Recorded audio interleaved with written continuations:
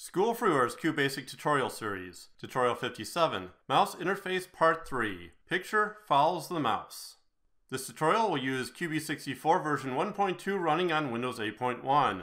This is a QB64 only program. QBasic 1.1 will not work with the code. The code and picture can be downloaded at schoolfreeware.com. The invader.ping was placed in the QB64 folder. Here's the ping file from tutorial 50. Start the program by declaring pick as along. Pick will hold the invader.ping. Next, we need to make the screen. I'll make the screen 800 by 600, 32-bit. We'll load the image.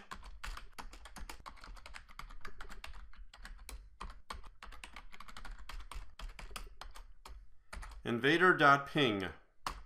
We will loop the program while a key is not being pressed. Do loop while inkey is equal to two quotations together. Now for the mouse input, while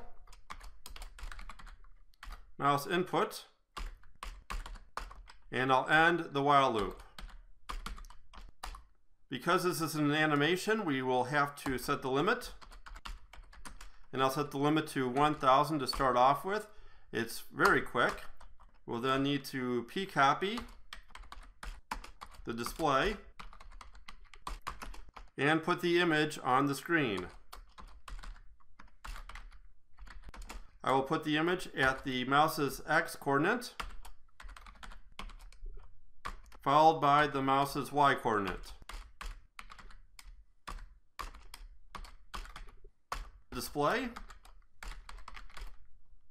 and p-copy from one into display. This p-copy here, display, and p-copy at the end prevent the image from flickering. Okay, now let's go ahead and run. And we see the image following the mouse.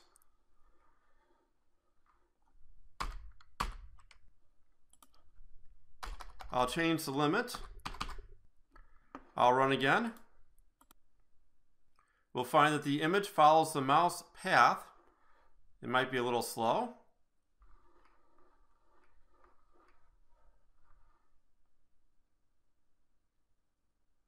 But it's kind of neat.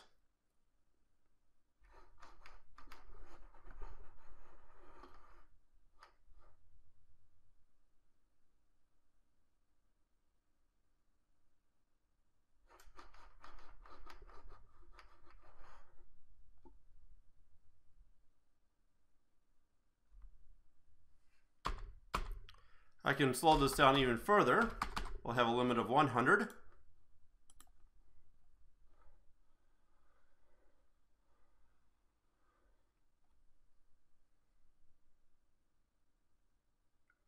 The image still follows the path of the mouse and eventually will catch up to it.